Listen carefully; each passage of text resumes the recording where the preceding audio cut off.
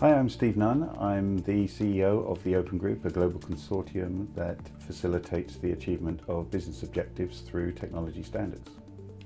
So what I'd like to talk to you about today is how our standards are fundamentally changing different industries uh, on a global basis.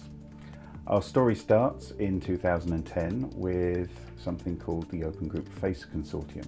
FACE stands for the Future Airborne Capability Environment and it focuses on federal avionics, particularly in the United States. So the issue being addressed by the Open Group FACE Consortium is how aircraft are procured by the US government. Traditionally, they award a large contract to one organisation who subsequently employ subcontractors, but everything is designed from scratch. At this point, the uh, actually it was the US Navy that said, we can't afford to do this anymore, start from scratch every time. We need to be able to reuse things. We haven't got the money to spend over and over and over again for different generations of aircraft. So what they wanted to do was create uh, open architecture based approach to the cockpit of the future as they call it. Meaning that the different functionality in the cockpit um, is interoperable and reusable from one aircraft to another. So for example, two different aircraft may have uh, a similar communication system and one that can be re reused from one to another, one that can talk from one to another. And none of this was possible in the past. A particular niche expertise of ours uh, that we've built up is bringing together government and industry to work on solving problems that help the whole marketplace.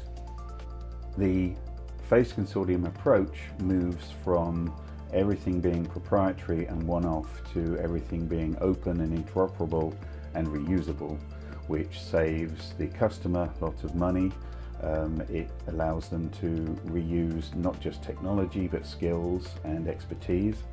And for the vendors, it changes the way they do things for sure, but it allows more opportunities to bid on more contracts than they would have had before, so everybody wins. What's really made a difference in this initiative compared to previous attempts at open standards in this world is the fact that they've addressed not just the technical issues but the business issues.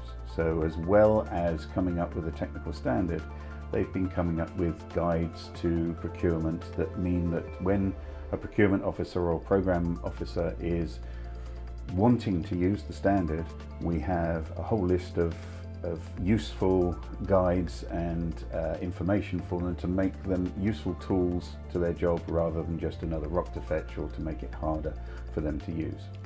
The result of that is that uh, the, the industry has fundamentally changed in the way that product is procured and supplied and everybody, for everybody's benefit.